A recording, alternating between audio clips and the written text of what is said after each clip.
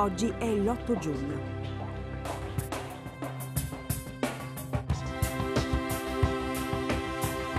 «1976. Genova. Le BR uccidono il magistrato Francesco Coco».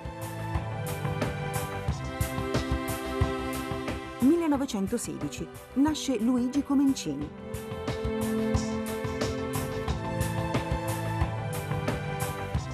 1987 nasce Telefono Azzurro. Commenta il fatto del giorno Luigi Vicinanza, direttore de Il Tirreno. Vittorio Emanuele II e Napoleone III entrano a Milano. Si compie un atto importante del risorgimento italiano.